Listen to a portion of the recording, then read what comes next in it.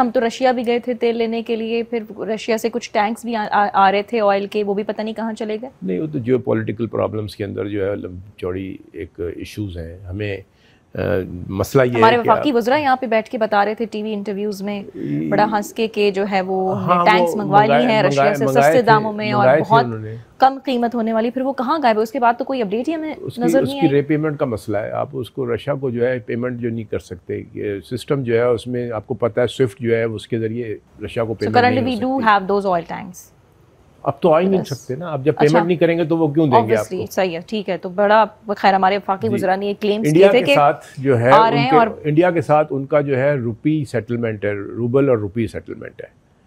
तो वो जब इंडिया उनसे इम्पोर्ट करता है तो उनको रुपी देता है। अपना इंडियन रुपी देता है। सही ऐसा ही है जी। ठीक है? हम पाकिस्तान अगर उनसे इम्पोर्ट करेंगे तो हमें उनको जो कन्वर्टेबल करेंसी है वो देनी पड़ेगी। यहाँ हम उनको चाइनीज़ यौन देंगे यहाँ हम उनको जो है वो डॉलर देंगे। डॉलर तो हम दे नहीं सकते। अब चाइनीज़ युआन भी देंगे तो हमारे ऊपर जो है उसका प्रेशर तो रहेगा। सही और हम ईरान से भी तेल कर सकते हैं ले सकते हैं उनसे भी।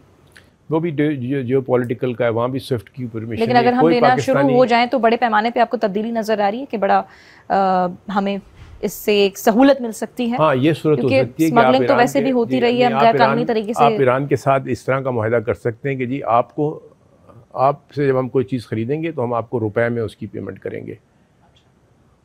और आप हमसे आपसे हम कुछ ख़रीदेंगे तो फिर हम आ, आप हमसे ख़रीदेंगे तो आप हमारा ये जो रुपया है इसको यूज़ कर लीजिए। तो एक तरह का बाटर।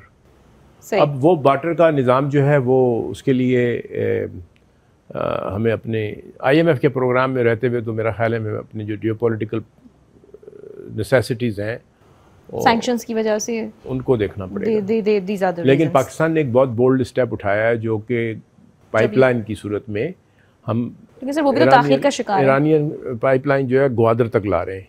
ओके। तो वो कम से कम जो आपका ग्वादर में इंडस्ट्रियल एक प्लान हम्म। है और इस दफ़ा जो उसको चाइना में जो एक माहे हुए हैं कि ग्वादर को जो है एक international centre for economic hub की सूरत में रीजन का बनाया जाएगा। तो उसमें वो गैस जो है बहुत सूदमंद होगी।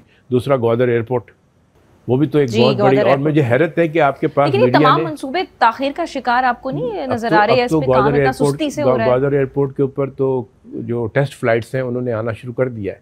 इतनी बड़ी खबर थी परसों कि टेस्ट फ्लाइट्स जो हैं वो ग्वादर एयरपोर्ट पे उतरना शुरू हो गई हैं।